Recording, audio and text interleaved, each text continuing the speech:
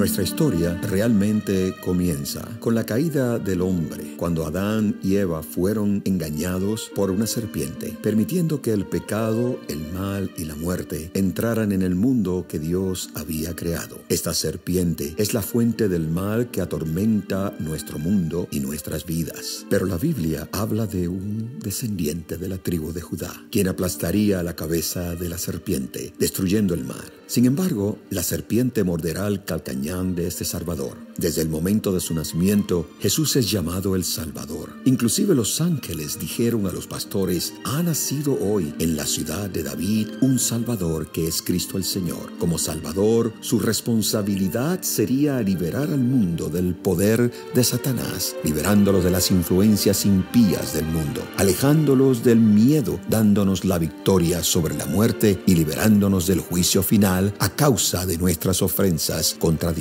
Ella dará a luz un hijo y lo llamará Jesús, porque él salvará a su pueblo de sus pecados. ¿Podría María haber entendido la magnitud del peso que tendría que soportar su hijo?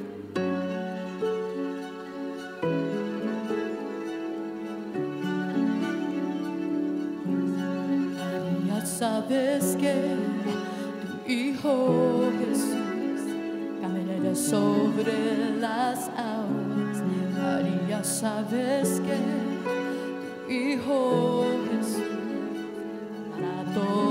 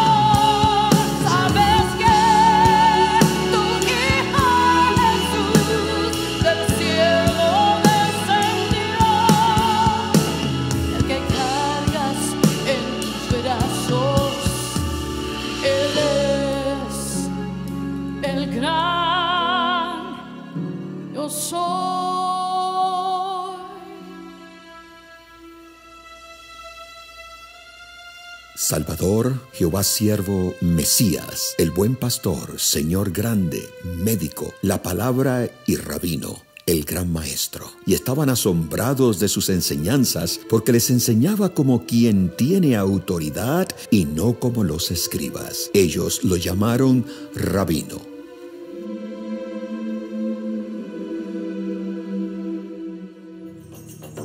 No se turbe vuestro corazón. Creer en Dios. Creer también en mí. En la casa de mi Padre muchas moradas hay. Si no fuera así, te habría dicho eso. Te voy a preparar un lugar y sabes el camino hacia donde voy. Señor, No sabemos a dónde vas. ¿Cómo conoceremos el camino? Yo soy el camino, la verdad y la vida. Nadie viene al Padre excepto por mí. Si me habrías conocido, también habrías conocido a mi Padre.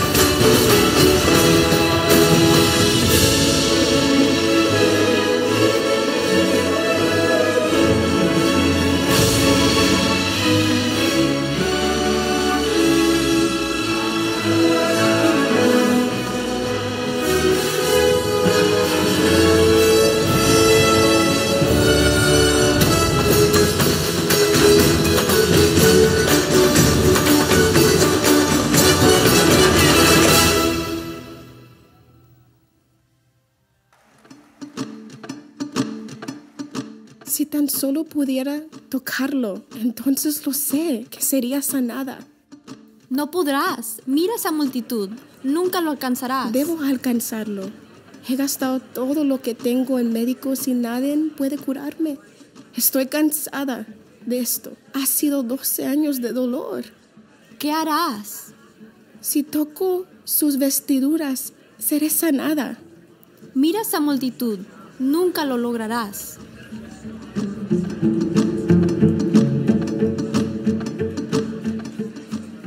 Fue el que me tocó? Maestro, ¿ves que la multitud te rodean? Y sin embargo dices, ¿quién me tocó? Alguien me tocó, porque de mí ha salido poder. Maestro, le pido perdón. He estado enferma de flujo de sangre durante 12 años. Ningún médico pudo curarme. Escuché de tus milagros. Sabía, sabía que tenía que tocarte. Hija, tu fe te ha sanado. Ve en paz, has sido sanada. Durante tres años, Jesús trabajó y viajó para difundir su mensaje y enseñanzas, y le acompañaban sus doce discípulos. Durante aquel tiempo, los principales sacerdotes y los ancianos del pueblo lo despreciaban. Tanto es así que conspiraron para matarlo. Esto ya ha ido demasiado lejos. Hacen más que amarlo. El pueblo se alegra al verlo cerca. La gente sí lo ama. Cuando habla en la sinagoga, se aferran a cada una de sus palabras. La blasfemia que enseña. Afirmando ser el Hijo de Dios, el Mesías, es ridículo. Incluso lo siguen en sus viajes, solo para ver sus milagros. Hay que hacer algo con este Jesús. ¿Qué haremos, Caifás? Hay que matarlo. Sí, hay que matarlo. ¿Pero cómo? Hay que hacer que lo arresten. A escondidas. Bien, pero no durante la fiesta. No sea que haya alboroto entre la gente. Ven, ven. Tenemos mucho que preparar. Estaba Jesús en la ciudad de Betania, en casa de Simón, que era un leproso. Una mujer se acercó a él con una caja de alabastro llena de ungüento y lo derramó sobre su cabeza mientras Jesús descansaba y se reclinaba a la mesa. María, un ejemplo de entrega y dedicación. Su acto de bondad y humildad demostró su profunda devoción hacia su maestro, el león de Judá.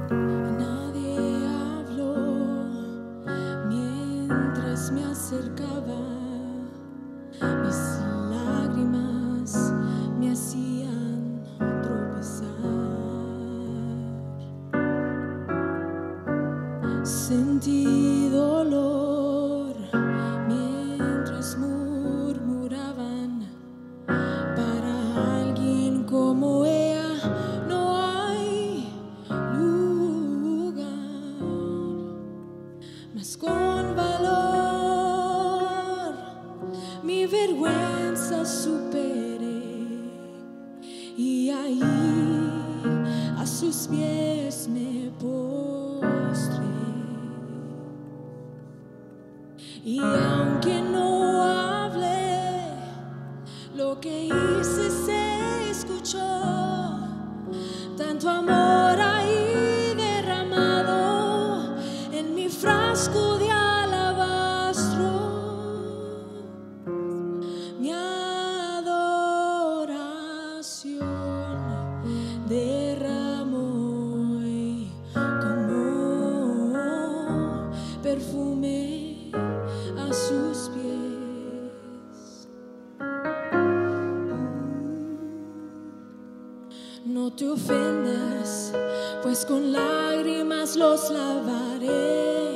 con mi cabello los secaré.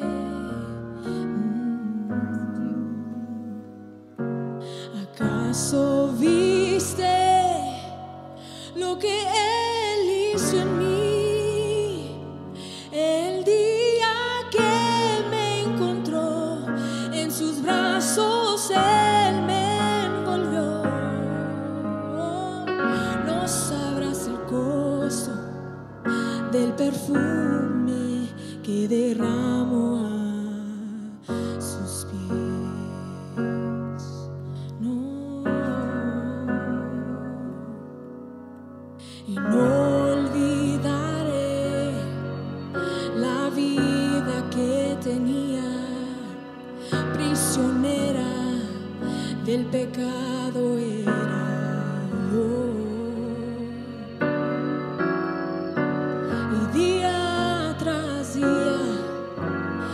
derramé mi vida en un tesoro que había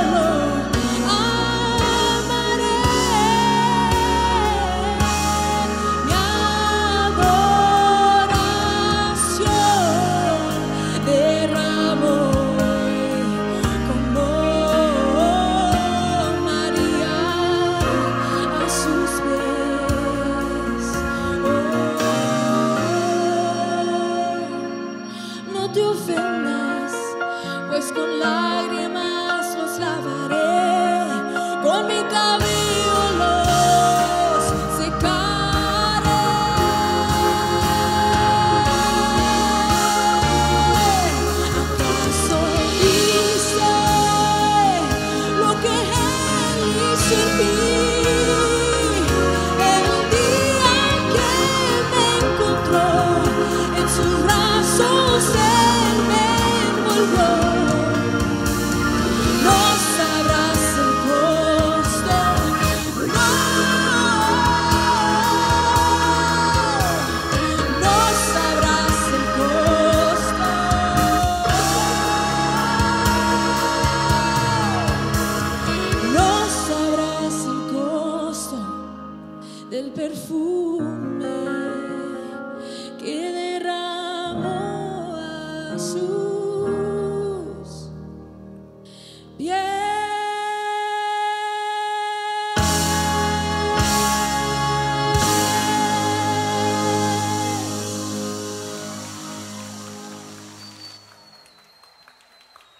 Ya se acercaba el tiempo para Jesús. Satanás entró en Judas Iscariote, uno de los discípulos de confianza de Jesús. Judas se alejó de Jesús y se reunió con los principales sacerdotes y oficiales para planear cómo podría entregar a Jesús a cambio de dinero. Luego de que Jesús celebró la Pascua con sus discípulos y se dirigieron al huerto de Getsemaní, en ese momento Jesús necesitaba que sus discípulos estuvieran a su lado. No solamente Jesús es el león de Judá, sino que también Él es el Cordero perfecto, el Cordero solamente usado para el sacrificio de nuestros pecados. Espérame aquí mientras yo voy a orar.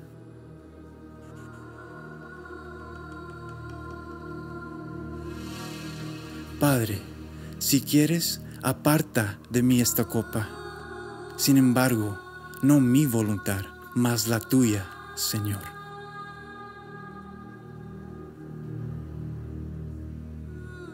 ¿Por qué están durmiendo? Levántense y oren, para que no entren en tentación. Judas, ¿entregarías al Hijo del Hombre con un beso? Señor, ¿iremos con espada? Basta ya de esto. Cuando Adán y Eva trajeron el pecado al mundo por primera vez, cortaron la relación entre Dios y el hombre. Jesús vino a restaurar lo que se había roto. No solo Jesús es el león de Judá, sino también que Él es el Cordero perfecto, el Cordero del sacrificio. Jesús bajó de las alturas de los cielos para experimentar un dolor intolerable y una muerte vergonzosa en la cruz, porque en amor Jesús quiso rescatarnos a ti y a mí de las profundidades del infierno. Por nuestros pecados, Cristo, el Rey de Reyes, el Señor de Señores, el León de Judá, fue sacrificado.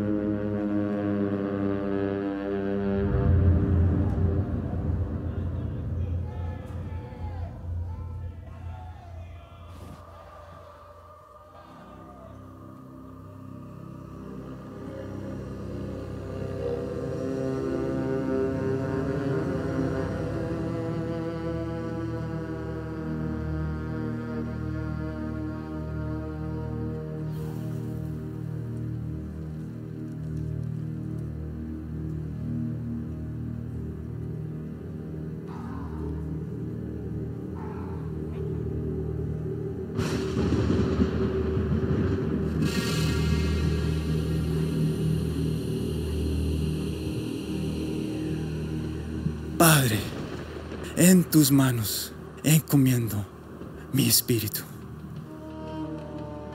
La cruz, el acontecimiento más importante de la historia de la humanidad. En expiación por nuestros pecados, Jesús pasó por el dolor y la humillación de la cruz. Fue el amor del Padre Celestial que nos libró de nuestros pecados, de la muerte que por derecho nos correspondía. Aunque mentimos, Dios nos ama. Aunque robamos, Dios nos ama con todos nuestros pecados. Dios envió su único Hijo para morir en la cruz. Él murió por ti y por mí, pero la muerte no pudo sujetar al león de Judá.